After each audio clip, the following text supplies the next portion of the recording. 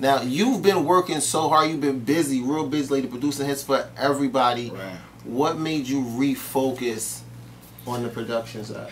I mean, just to have a real candid interview with you, like I felt like people were focusing in on the bullshit that was happening, like the more trivial shit. Like, and I still don't even understand it to this day, cause it's like, yo, like niggas get robbed every day, b. You know what I'm saying? So like me going through that situation and what I went through, and I I think that I had to remind people, and not only that, like every record I ever dropped in my career is went platinum. Like as Yung Berg, so it was not a fact of like your music is whack or nothing like that. Like I've sold more records than a lot of these niggas. Like Sexy Can I has like seven and a half million records mm. sold right now. That's Ray J biggest song. I hated that song when he did that two sidebar conversation, but um, I just think that I had to show people like all right, let me dip behind the scenes real quick and do these records with all these different people and then reemerge on the scene. You know what I'm saying? So people could respect me for my craft.